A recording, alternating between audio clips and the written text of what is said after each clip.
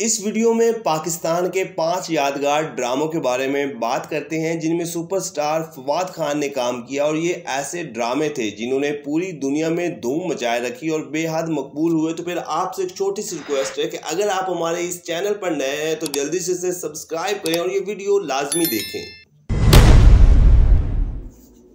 Drama serial अश्क नाजरीन फवाद खान का एक सुपर हिट रोमांटिक ड्रामा है जो 2012 में जियो टीवी पर ऑन एयर हुआ और फिर अपनी मकबूलियत की वजह से इंडियन चैनल ज़िंदगी और जी फाइव पर भी दिखाया गया।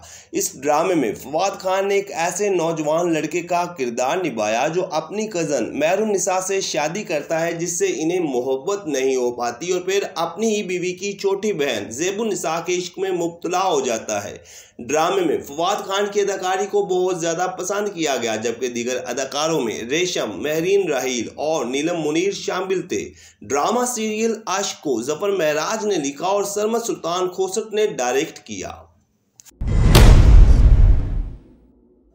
ड्रामा सीरियल नम फवाद खान के करियर का एक मेगा हिट ड्रामा, जो अपने दौर में बेहद मकबूल हुआ, जो 2013 में जियो टीवी पर और फिर इंडियन चैनल जी ज़िंदगी पर दिखाया गया। ड्रामे की कहानी जागीरदाराना दौर के सख्त रस्म, रवाज और इसके असरात पर बनाई गई। ड्रामे की कहानी तीन किरदारों के गिर्द घूमती है, जिनकी ज़िंदगी एक दूसरे से जुड़ी होती है। ड्रामे को मायरा साजिद ने लिखा और एहसन तालिश ने डायरेक्ट किया। ड्रामे में फवाद खान, सानिया सईद और कानजा वैन ने मरकजी किरदार निभाए और इन तीनों ही की अदाकारी को बहुत ज़्यादा पसंद किया गया, जबकि दीगर अदाकारों में उस्मान पीरजादा फराशा और मुनजा आरिफ शामिल थे। ड्रामा सीरियल दास्तान। क्या में पाकिस्तान के पस मंज़र पर बढ़ने वाला ड्रामा सीरियल दास्तान, एक शौरा अफाक पाकिस्तानी ड्रामा है। ड्रामा सीरियल दास्तान 2010 में हम टीवी पर और फिर इंडियन चैनल ज़िंदगी पर वक्त ने क्या किया? हसीन सितम के नाम से ऑनियर हुआ।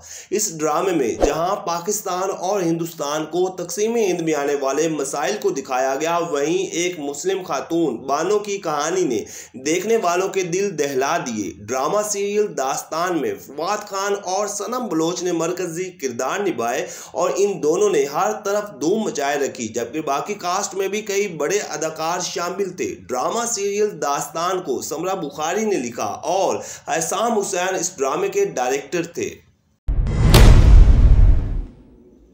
ड्रामा सीरियल हम सफ़र नाजरीन, फवाद खान का एक ऐसा ड्रामा, जिसे पाकिस्तान का ट्रेंड मेकर भी कहा जाता है, क्योंकि इस ड्रामे ने पाकिस्तानी ड्रामा इंडस्ट्री में एक नई रवायत रखी। ड्रामा सीरियल हम सफ़र में फवाद खान और मायरा खान ने मरकजी किरदार निभाए। ये ड्रामा तो हिट हुआ ही, लेकिन फवाद खान और मायरा खान की जोड़ी इतनी हिट हुई कि जिसकी कोई मिसाल नहीं मिलती। इस ड्रामे को फरत इश्तियाक ने लिखा और सरमद सुल्तान खोसट ने डायरेक्ट किया। ड्रामा सीरियल हम सफ़र 2011 में हम टीवी पर और फिर इंडिया समेत कई ममालिक में नशर किया गया। और ख़ास तौर पर अभी भी इंडिया में ये ड्रामा बहुत ज़्यादा मकबूल है। ड्रामा सीरियल ज़िंदगी गुलजार है। नाजरीन, फवाद खान का एक और मकबूल तरीन पाकिस्तानी ड्रामा जो 2012 में हम टीवी पर और फिर इंडिया में और फिर 2015 में नेटफ्लिक्स पर भी दिखाया गया। ये ड्रामा जितना पाकिस्तान में हिट हुआ, इससे ज़्यादा भारत और बांग्लादेश में टॉप ट्रेंड बना रहा। और अब भी कहा जाता है कि इंडियन ड्रामा अकेडमी में ये ड्रामा दिखाया जाता है। ड्रामा सीरियल ज़िंदगी गुलजार है में फवाद खान और सनम सईद की जोड़ी ने स्क्रीन पर आग लगाए रखी और दोनों की जोड़ी खूब जमी। ड्रामे की स्टोरी में रोमांस, सोशल इश्यूज़ और कई अहम सबक आमोज इश्यूज़ को हाईलाइट किया गया। ड्रामे को उमेरा अहमद ने लिखा और सुल्ताना सदीकी ने डायरेक्ट किया तो नाजरीन, ये है वो पाँच मेगा हिट पाकिस्तानी ड्रामे जो अपने दौर में बेहद मकबूल हुए और इन ड्रामों में फवाद खान ने काम किया। तो आपने इन ड्रामों में से कौन कौन से ड्रामे देखे या फिर आपको कोई पसंदीदा ड्रामा हो तो कमेंट सेक्शन में ज़रूर बताइएगा। वीडियो को लाइक करें चैनल को सब्सक्राइब करें, ताकि आने वाली तमाम वीडियोस आप तक आसानी से पहुँच सकें।